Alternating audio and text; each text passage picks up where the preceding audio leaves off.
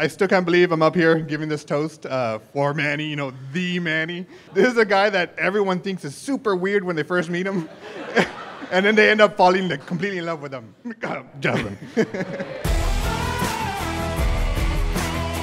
Thank God when I ask each one of you why you chose each other, you both agreed that marrying each other makes you whole and you see your entire future in each other's eyes.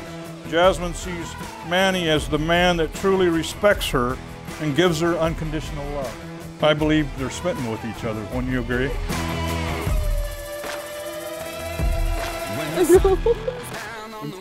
oh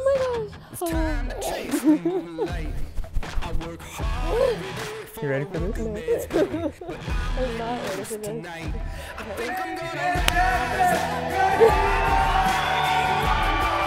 Manny, you are one of the most genuine, down to earth, and a major dork I've never met.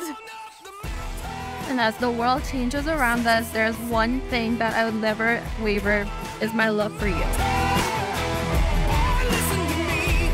You make me incredibly happy and always reminding me how pretty I am even when I look awful. You sounded always so genuine, so I'll take that.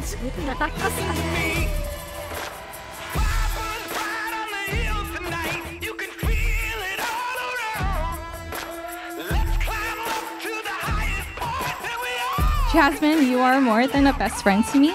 You're an extension of me. And anyone who knows you, including everyone here, is so blessed to be in your orbit.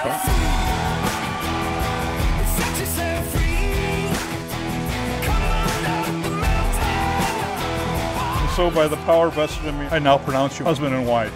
You may kiss your bride.